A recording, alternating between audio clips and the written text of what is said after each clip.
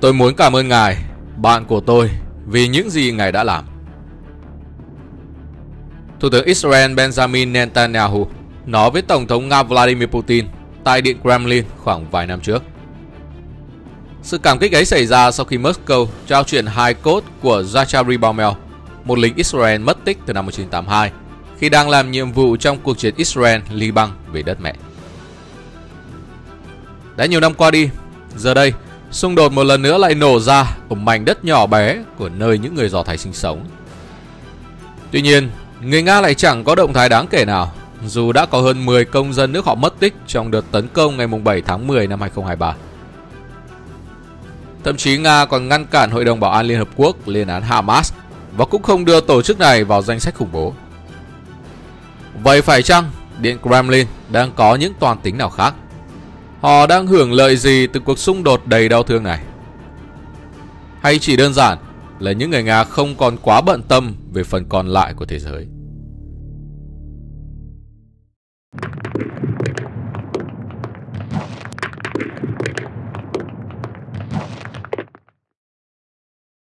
Trước khi đi vào nội dung ngày hôm nay, để cập nhật những kiến thức thú vị bổ ích nhất về quân sự cũng như để tiếp thêm năng lượng cho ekip, các bạn hãy đăng ký kênh, nhấn nút chuông để nhận được thông báo ngay khi video mới ra mắt. Còn bây giờ, chúng ta hãy cùng quay trở lại với nội dung chính. Như đã đề cập ở trên, khi cuộc xung đột xảy ra, bất chấp việc các quốc gia khác đều lên án hành động không chấp nhận được từ phía Hamas, xứ sở Bạch Dương lại gần như không có động tĩnh gì đáng kể, mà thay vào đó chỉ đưa ra lời kêu gọi hai bên ngừng bắn và khẳng định quan điểm ủng hộ đối với nhà nước Palestine. Thậm chí Ngoại trưởng Nga Sergei Lavrov đã chỉ trích các cuộc oanh kích từ Israel vào Gaza đã đi ngược lại luật pháp quốc tế. Họ so sánh việc Israel bao vây, phong tỏa Gaza giống như cuộc bao vây Leningrad mà Đức Quốc xã đã thực hiện trong đệ nhị thế chiến. Một trong những sự kiện đau thương nhất lịch sử xứ sở Bạch Dương, khiến hàng trăm ngàn thường dân đất nước này thiệt mạng. Song song với đó là hàng loạt luồng ý kiến cho rằng đã đến lúc Điện Kremlin phải xem xét lại mối quan hệ với Israel. Vậy mối quan hệ giữa Nga và Hamas là như thế nào? Khi cả Israel lẫn Hamas dần bước vào một cuộc chiến tổng lực, Nga trông giống như kẻ đứng bên lề hơn là vai chính. Không có bằng chứng nào cho thấy Moscow trực tiếp hỗ trợ hoặc tiếp tay cho cuộc tấn công khủng bố của Hamas chống lại Israel.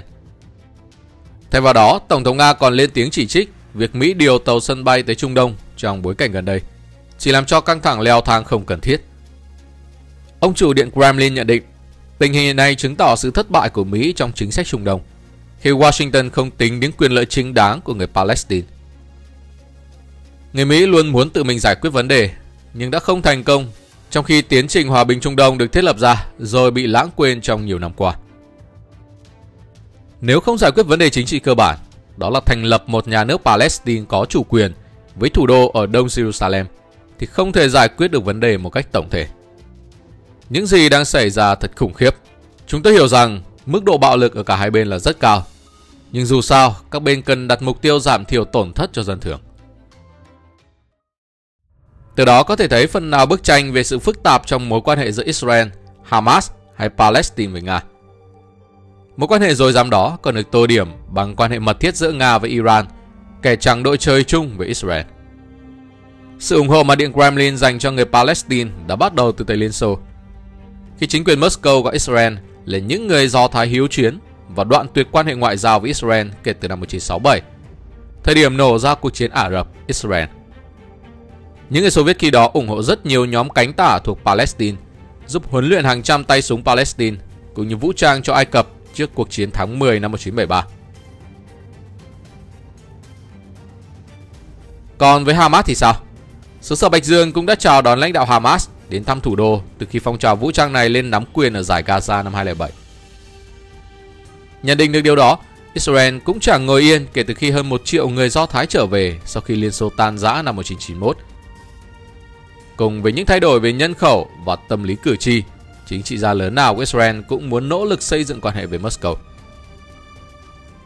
Thậm chí nhiều người cho rằng chưa có ai thành công hơn Thủ tướng Israel, ông Netanyahu khi mà quan hệ cá nhân giữa nhà lãnh đạo này với Tổng thống Putin được gọi là tình yêu kỳ lạ. Ngài Thủ tướng đã thăm Moscow hàng chục lần.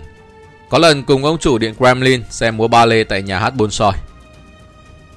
Tuy nhiên, đứng trước nhiều luồng dư luận trái chiều đó, Ngài Thủ tướng Israel lại cho rằng Tôi không gọi đó là tình yêu, tôi gọi đó là vấn đề lợi ích.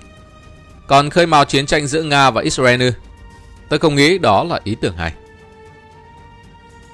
Mối quan hệ này sau cùng vẫn bị ảnh hưởng ít nhiều khi xứ sở Bạch Dương không mặn mà với mong muốn cải thiện ngoại giao từ phía Israel mà vẫn âm thầm ủng hộ Palestine, đồng thời quyết định mở chiến dịch quân sự ở Ukraine và có một số bước đi bất lợi hướng tới Israel. Có những thời điểm, Moscow đã dọa đóng cửa chi nhánh cơ quan Do Thái tại Nga hay một tổ chức phi chính phủ hỗ trợ người di cư đến Israel. Đồng thời cáo buộc đại sứ Israel tại Ukraine tẩy trắng cho chủ nghĩa quốc xã. Những động thái bên lề càng làm sáng tỏ hơn quan điểm của Moscow khi Tổng thống Biden tới Israel như một phần trong hoạt động ngoại giao chuyên sâu mà Mỹ mong muốn trên khắp Trung Đông. Người đàn ông quyền lực nhất nước Nga, Vladimir Putin, lại dường như chẳng quan tâm, đồng thời thực hiện chuyến thăm tới Bắc Kinh. Tại Liên Hợp Quốc, giới quan chức Nga chỉ bày tỏ sự thương tiếc đối với thương vong dân sự trong chiến tranh và thúc giục hai bên ngừng bắn trong hòa bình. Nhưng đó chỉ là hành động bề ngoài bởi nó hoàn toàn thiếu tính gian đe về các bên xung đột. Moscow không thể hoặc cũng không muốn làm trung gian để Hamas thả con tin hay đảm bảo hành lang nhân đạo, chứ đừng nói đến việc ngăn chặn giao tranh.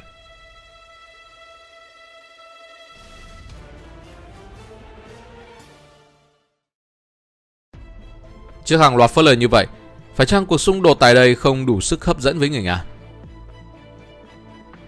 Nhưng nếu như vậy, thì đã đánh giá quá thấp năng lực của một trong những siêu cường hàng đầu thế giới. Bởi bất chấp sức ảnh hưởng hạn chế của mình, Nga đang nổi lên như một nước hưởng lợi cực lớn từ cuộc chiến Hamas-Israel.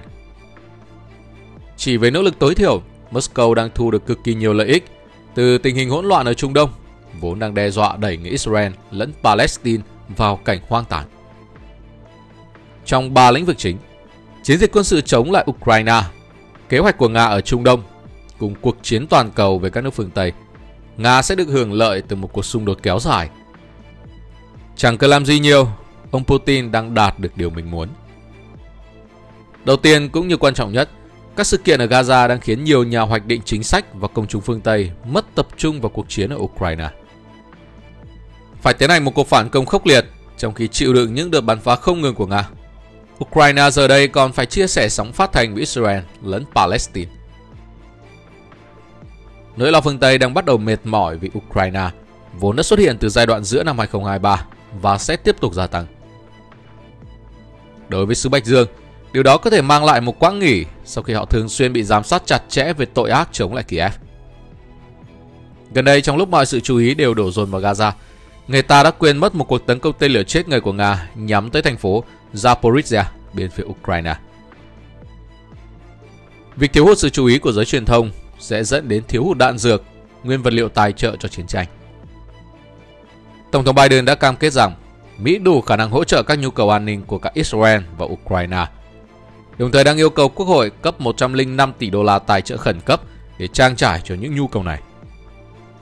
Nhưng Israel cuối cùng có thể cần đến những loại vũ khí mà hiện Ukraine đang thiếu, bao gồm cả máy bay không người lái có vũ trang lẫn đạn pháo. Bị mắc kẹt trong một cuộc chiến tiêu hao kết hợp với một cuộc xung đột mới xuất hiện đồng thời, rất dễ gây khó khăn cho người Mỹ, làm cạn kiệt sức mạnh đối thủ của họ. Hơn nữa, cuộc chiến ở Gaza đang có nguy cơ làm trì hoãn, nếu không muốn nói là làm trạch hướng trong những nỗ lực từ chính quyền Biden nhằm bình thường hóa quan hệ giữa Israel và Ả Rập Saudi. Từ khoảng tháng 9 năm 2023, Washington đã phải đảm nhận trọng trách dung hòa những yêu cầu khác biệt giữa các bên liên quan đối với sự bảo đảm an ninh của Hoa Kỳ. Chương trình hạt nhân dân sự bên phía Saudi, số phận người Palestine càng dấy lên mối lo ngại rằng chu kỳ bạo lực mới hiện đang đe dọa hủy hoại sáng kiến này. Điều đó sẽ làm hài lòng các quan chức ở Moscow, những người luôn coi hiệp định Abraham hay loạt thỏa thuận giữa Israel và một số quốc gia Ả Rập được ký vào năm 2020, vốn mở đường cho quá trình bình thường hóa quan hệ với Ả Rập Saudi, là một dự án của Mỹ nhằm gạt Nga sang một bên. Thất bại của hiệp định này sẽ mang lại cho Nga nhiều thứ hơn là niềm vui thuần túy khi chứng kiến Mỹ phải chật vật trong mớ hỗn độn do chính mình tạo ra. Moscow có kế hoạch cho riêng mình về hợp tác hạt nhân với Ả Rập Saudi và cũng hy vọng sẽ cản trở sự phát triển quan hệ đối tác quốc phòng Ả Rập Israel chống lại Iran, một đối tác ngày càng thân thiết trong chiến lược mà Điện Kremlin xây dựng. Nhưng có lẽ lợi ích lớn nhất Nga nhận được lại đến từ dư luận toàn cầu. Điện Kremlin đã từ chối gọi cuộc tấn công là khủng bố, rồi đổ lỗi rằng sự leo thang căng thẳng hoàn toàn do hàng loạt sai lầm trong chính sách phương Tây theo đuổi. Thông điệp này của Moscow thật tinh cơ phù hợp với tâm lý công chúng trên khắp Trung Đông. Trên các phương tiện truyền thông của Nga, hình ảnh đau khổ của người Palestine ở Gaza đã được quan tâm hơn cả. Các quan chức xứ sở Bạch Dương đã nêu bật những lo ngại về nhân đạo trong khi tránh bất kỳ sự chỉ trích trực tiếp nào đối với Hamas. Sự ủng hộ của Moscow với công cuộc đấu tranh mà người Palestine thực hiện không phải là mới, nhưng Điện Kremlin đang khiến điều đó trở nên rõ ràng hơn. Tuy nhiên, tham vọng nước Nga ấp ủ đã vượt ra ngoài Trung Đông. Họ tự phong mình như David đối đầu với Goliath phương Tây. Sứ giả Bạch Dương đã coi cuộc chiến chống Ukraine là một cuộc chiến chống thực dân nhằm chấm dứt sự thống trị toàn cầu của phương Tây. Khai thác những bất bình mạnh mẽ ở các nước đang phát triển đối với sự kiêu ngạo và đạo đức giả từ phía lục địa giả. Phản ứng của Điện Kremlin đối với cuộc chiến ở Gaza tạo khoảng cách giữa nước này với lập trường ủng hộ Israel rõ ràng từ phía Washington, để thiết kế để khai thác những cảm xúc đó hơn nữa. Đối với Moscow, việc kích động sự vỡ mộng với Tây Âu và thậm chí thu hút thêm những nhân tố mới ủng hộ nước này. Thách thức trật tự toàn cầu hiện tại sẽ là những bước tiến quan trọng, đáng để chấp nhận nguy cơ khiến Israel khó chịu. Đồng thời, việc quan điểm này gây ra căng thẳng ở châu Âu cũng có thể coi như một kết quả phụ như mong muốn. Tại Liên Hợp Quốc, Moscow kêu gọi một phiên họp khẩn cấp liên quan đến vụ tấn công một bệnh viện ở Gaza, mà ngó lơ sự thật rằng họ đã dành 20 tháng để ném bom các tòa nhà dân cư lẫn cơ sở hạ tầng dân sự ở Ukraine. Tuy nhiên, tại các quốc gia đang phẫn nộ, đau khổ vì hành động quân sự của Israel ở Gaza, những lời chỉ trích từ Nga đã đánh trúng vào những định kiến về Israel hay những người ủng hộ phương Tây của họ. Trong bối cảnh đau đớn dạn nứt giữa thế giới đang phát triển và châu Âu sẽ ngày càng mở rộng, Sứ sở Bạch Dương sẽ không lãng phí cơ hội để làm sâu sắc thêm dạng nước đó. Đã ủng hộ Ukraine trong 600 ngày qua, hiện đang sát cánh cùng Israel sau thời khắc đen tối nhất nước này từng trải qua. Các quan chức Mỹ cũng như Tây Âu đã cố gắng thuyết phục phần còn lại của thế giới rằng trật tự toàn cầu và các giá trị dân chủ đang bị đe dọa. Nhưng khi Israel lẫn Hamas rơi vào vòng xoáy bạo lực, phương Tây còn lâu mới giành được chiến thắng trên mặt trận truyền thông. Bởi cuộc chiến ở Ukraine đã lùi dần về phía sau, còn nền ngoại giao do Mỹ dẫn đầu ở Trung Đông đang rơi vào hỗn loạn. Phương Tây và phần còn lại trên thế giới có nguy cơ phải đối mặt với vực thẳm của sự thiếu hiểu biết lẫn nhau. Ngoài việc khiến thế giới giảm chú ý vào Ukraine, cuộc xung đột giữa Israel và Hamas sẽ còn là cái cớ để đẩy giá dầu, nguyên liệu thô lên cao vút, giúp Moscow tăng nguồn thu đáng kể. Cần phải nhấn mạnh rằng, nguồn thu từ dầu mỏ đóng vai trò đặc biệt quan trọng trong nền kinh tế của xứ sở Bạch Dương. Nguồn tài nguyên thiên nhiên không thể thay thế, đồng thời góp phần cực kỳ lớn vào nguồn thu cũng như xuất khẩu quốc gia. Chính phủ Nga dựa khá nhiều vào nguồn thu thuế và phí từ các công ty dầu mỏ hoạt động tại quốc gia này. Ngành công nghiệp dầu mỏ tạo ra nhiều cơ hội việc làm, đóng góp đáng kể vào nền kinh tế. Nó cung cấp việc làm cho hàng triệu người, đồng thời tạo ra các liên kết trong chuỗi cung liên quan. Có thể thấy, cái lợi Moscow sở hữu về dầu mỏ cũng báo hiệu rủi ro tiềm tàng đối với châu Âu. Nền kinh tế lục địa già đặc biệt nhạy cảm với diễn biến giá năng lượng, gồm cả dầu thô và khí đốt, vì đang trong quá trình cai năng lượng Nga, nguồn cung cấp vào châu Âu đã phụ thuộc vào trong suốt nhiều thập kỷ qua. Ngoài ra, châu Âu còn chưa hoàn hồn sau cú sốc năng lượng vào năm ngoái khi bị Nga cắt giảm gần hết lượng khí đốt cung cấp qua hệ thống đường ống dẫn khí khổng lồ. Cho tới hiện tại, ảnh hưởng của xung đột Israel-Hamas lên kinh tế thế giới nói chung và kinh tế châu Âu nói riêng mới chỉ ở mức độ hạn chế. Nhưng giới chuyên gia lo ngại về khả năng kéo dài cũng như lan rộng của cuộc chiến ra khu vực Trung Đông.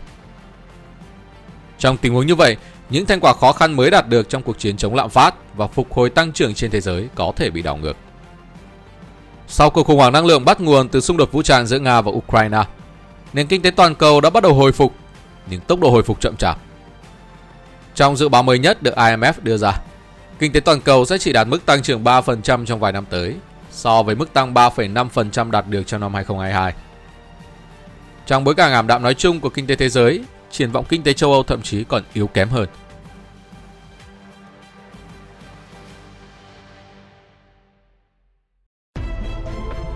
Tuy hưởng lợi là thế, nhưng cuộc tấn công của Hamas nhằm tới Israel đã khiến xứ sở Bạch Dương rơi vào tình thế khó.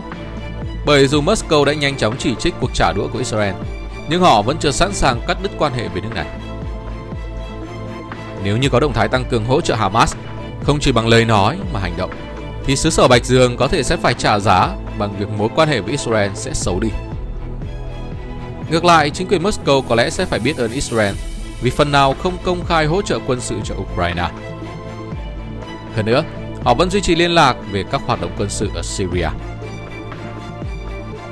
Cuộc xung đột Israel-Hamas chưa có dấu hiệu dịu xuống và những người đứng đầu Điện Kremlin vẫn hy vọng những ủng hộ từ Mỹ cùng đồng minh dành cho Ukraine sẽ ở vị trí thứ yếu. Đồng thời, một vài bất ổn gần đây như vụ bạo loạn tại sân bay Makhachkala ở Dagestan cho thấy là Điện Kremlin đang gặp khó khăn trong việc bảo đảm an ninh của các vùng trong nước và điều này tác động tiêu cực đến sự ổn định về mặt chính trị quốc gia. Do đó, việc can dự vào một cuộc xung đột mới nằm ngoài lãnh thổ là hoàn toàn không cần thiết. Tuy nhiên, nếu xung đột lan rộng ra ngoài Israel và Gaza, thì Nga cũng có thể phải đối mặt với những rủi ro. Theo các nhà phân tích, Điện Kremlin muốn duy trì sự hiện diện quân sự ở Syria và không gửi thêm quân đến khu vực này, vì như vậy sẽ làm gia tăng áp lực đối với quân đội vốn đã gặp rất nhiều khó khăn.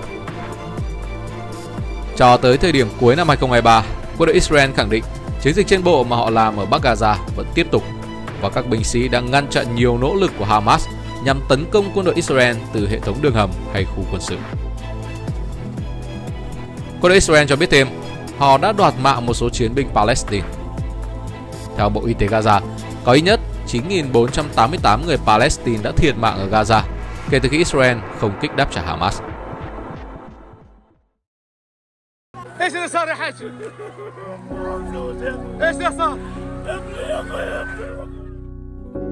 Sau tất cả, chúng ta thấy rằng chiến tranh là một bi kịch của nhân loại.